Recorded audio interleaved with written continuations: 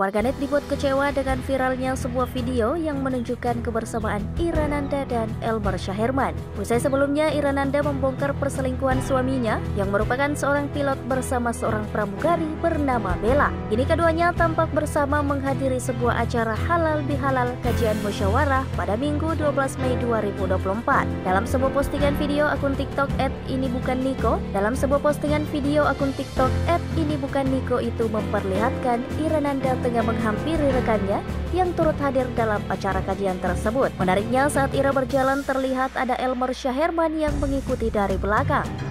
Terlihat saat itu Ira mengenakan busana berwarna hijau pastel, sedangkan Elmer tampil mengenakan baju koko putih dan celana krim. Meski tak terlihat berjalan berdampingan atau gandengan tangan, namun kehadiran keduanya berhasil menyita perhatian tamu undangan yang datang. Usai videonya viral di media sosial, banyak netizen yang menilai kalau pasangan ini tidak betul-betul bercerai. Viralnya video itu juga langsung menyerbu unggahan terakhir akun media sosial Instagram milik Ira.